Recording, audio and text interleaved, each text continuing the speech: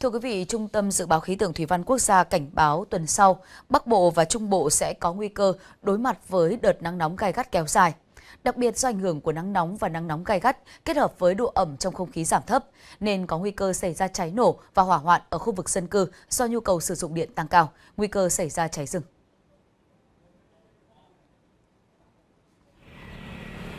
Cụ thể, ngày hôm nay, khu vực từ Hà Tĩnh đến Phú Yên có nắng nóng với nhiệt độ lúc 13 giờ phổ biến từ 35 đến 36 độ, có nơi trên 36 độ. Trong hai ngày đầu tuần sau, mùng 5 và mùng 6 tháng 8, khu vực từ Thanh Hóa đến Phú Yên có nắng nóng, có nơi nắng nóng gai gắt, với nhiệt độ cao nhất phổ biến từ 35 đến 37 độ, có nơi trên 37 độ. Ngày mùng 6 tháng 8, khu vực Nam Sơn La, Hòa Bình và Đồng bằng Bắc Bộ có nắng nóng với nhiệt độ cao nhất phổ biến từ 35 đến 36 độ, có nơi trên 36 độ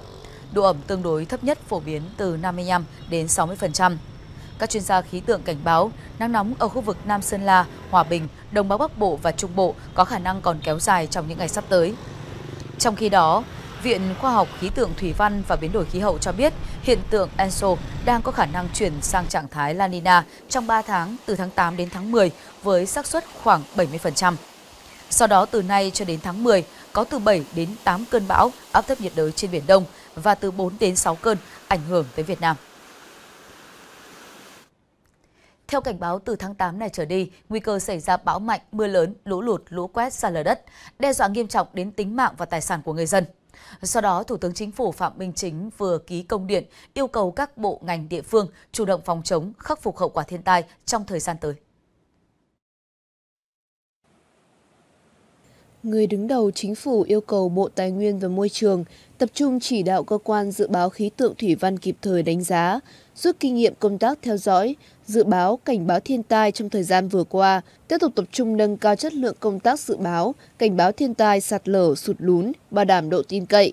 Bộ trưởng Bộ Nông nghiệp và Phát triển Nông thôn tổ chức trực ban 24 trên 7, theo dõi sát tình hình, diễn biến thiên tai, tham mưu cho Thủ tướng chỉ đạo và chủ động đôn đốc các bộ, ngành địa phương kịp thời triển khai phòng chống khắc phục hậu quả thiên tai. Bộ trưởng Bộ Công Thương có trách nhiệm đảm bảo an toàn cho sản xuất công nghiệp, hệ thống điện, hồ thủy điện, kịp thời khắc phục sự cố, bảo đảm cấp điện cho sản xuất và sinh hoạt của nhân dân. Bộ trưởng Bộ Giao thông Vận tải chủ động hỗ trợ địa phương kịp thời khắc phục các tuyến giao thông bị sạt lở, chia cắt, nhất là trên các tuyến quốc lộ, các trục giao thông chính. Bộ trưởng Bộ Quốc phòng chủ động chỉ đạo các quân khu, các lực lượng đóng trên địa bàn, ra soát, xây dựng phương án, chủ động huy động lực lượng, phương tiện để phối hợp với địa phương, triển khai ứng phó thiên tai và khắc phục nhanh hậu quả thiên tai.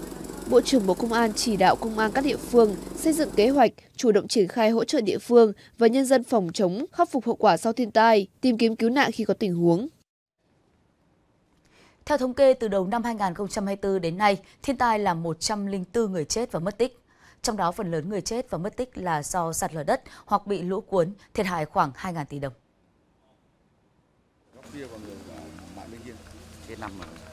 Cụ thể, từ đầu năm 2024 cho đến nay, thiên tai tiếp tục diễn biến bất thường khó dự báo.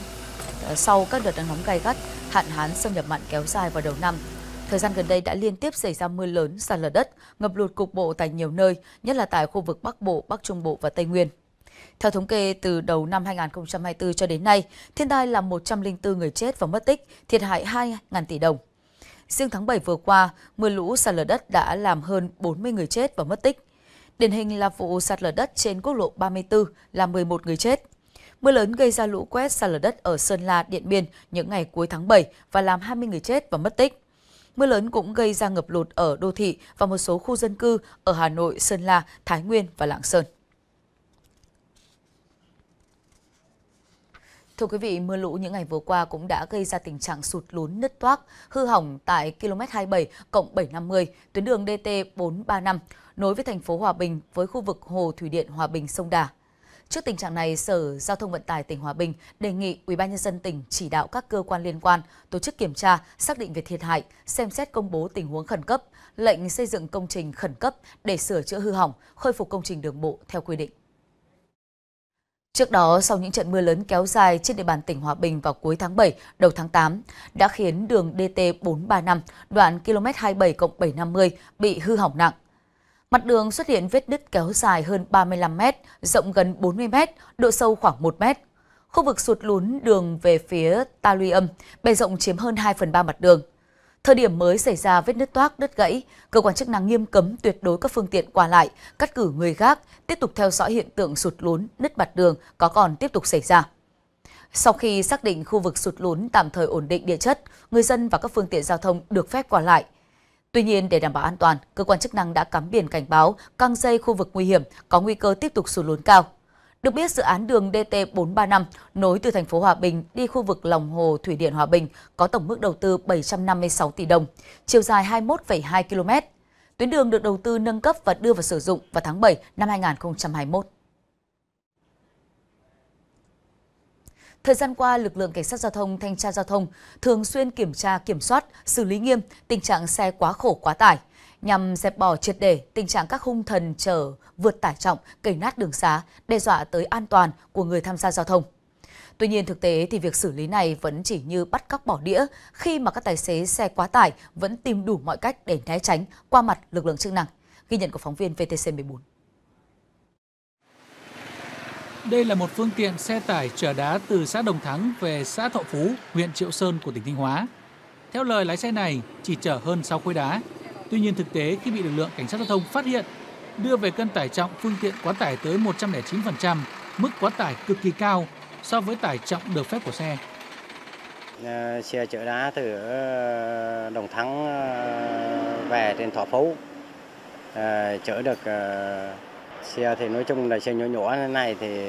xe nào thì nói thật là cũng quá tải cả. Thì cũng có biết nhưng mà bây giờ chả biết làm sao được chi phí ờ, thấp cước thấp thì chạy với ờ, cũng với đủ ờ, chi phí trả lương lái xe rồi các khoản cũng trên địa bàn tỉnh Thanh Hóa, thậm chí mới đây, lực lượng cảnh sát giao thông còn phát hiện một phương tiện xe ben cơ nới thành thùng lên tới 60 cm nhằm thực hiện hành vi gian dối chở hàng quá tải trọng. Nhiều lái xe, doanh nghiệp vì lợi nhuận vẫn thực hiện và thông báo cho nhau luồn lách qua các cung đường nhằm né tránh lực lượng cảnh sát giao thông một cách tinh vi. Vì quân số ít cho nên là chúng tôi cái số cán bộ tham gia các tổ công tác trên tuyến là rất là mỏng. À, bên cạnh đó thì lực lượng giao thông thì tuần tra kiểm soát thì chủ yếu là công khai. Vì vậy cho nên là các lái xe khi chạy trên đường nhìn thấy lực lượng